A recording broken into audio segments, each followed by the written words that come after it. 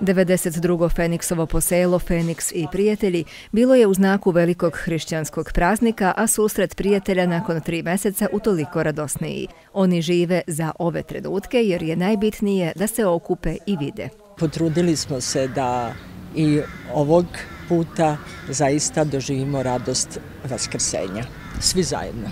Protojerej Nikola Despot je otvorio ovo večer rekavši da kada čovek ima plemenitosti i ljubavi u sebi ništa mu nije teško, odajući veliko divljenje članovima Feniksa jer oni je imaju. Uskošnje poselo je donelo i izbor najlepših jaja, a može se primetiti da se svake godine svi trude da budu kreativniji i originalniji. Nismo farbali jaja, nego smo uzeli jedan ukrasni papir i širče i vodu i stavili taj papir na jaja da i u vodu i širče i stavili u balon da se ohladi i šekli smo ga na pola i onda kada smo ga izvodili nekoliko minuta na hladnom dobila je lepa boja. Onda smo ih dorađivali sa lakom, sa cirkonima e, da ispadne što je lepše e, moguće i zato ovako onda izgleda.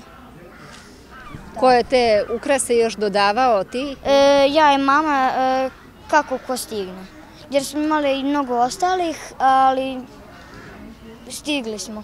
Ovo se jaje našlo na četvrtom mestu, dok je prvu nagradu osvojio Saša Branežat iz Stare Pazove. Među gostima bio je i poznati glumac Miodrag Kostić. Zajedničkom pesmom sa muzičarima Janom Čemerskim i Draganom Katićem završeno je još jedno druženje u klubu za dnevni boravak u Staroj Pazovi.